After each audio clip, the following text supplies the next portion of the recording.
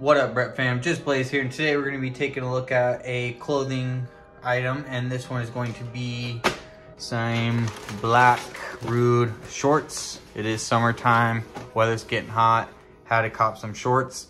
Um, these are from Rep Dog. Uh, reviewed a bunch of other things from them. I'm gonna go ahead and put all their information on here. Be sure to check them out.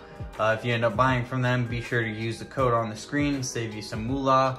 Um, but let's go ahead and get into it pair of Rhude shorts. Like I said, getting into the summertime, so I really need to step away from the pants and the joggers and get some, uh, you know, shorts going. So as you can see, this is kind of a, um, not a cotton material, um, it's synthetic. So let's go ahead and just kind of look at the overall material. If we can just kind of get an overall view here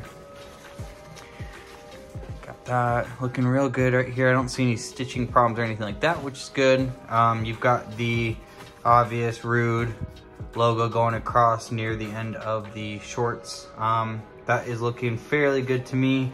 I don't have any retail to compare this to, um, but I really feel like this isn't something to, you know, really be hard to replicate. But got some nice zippers right here in the front that do zip up and down. It's got the little heavy ball thing that feels really nice. Pockets are actually deep, so that's good. Let's go ahead and flip them back.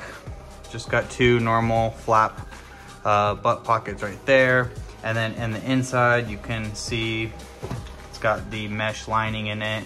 Um, and then you also get the Rhude tag that comes with it. So once again, Rhude shorts, very simple, quick look into these, but I'm definitely gonna be rocking the crap out of these during the summer. So as always, thanks for watching. Appreciate all the likes and support that you bring here. Once again, these are from Rep Dog. Be sure to mention Rep Bros when you uh, check out and get that discount code so you can save some money.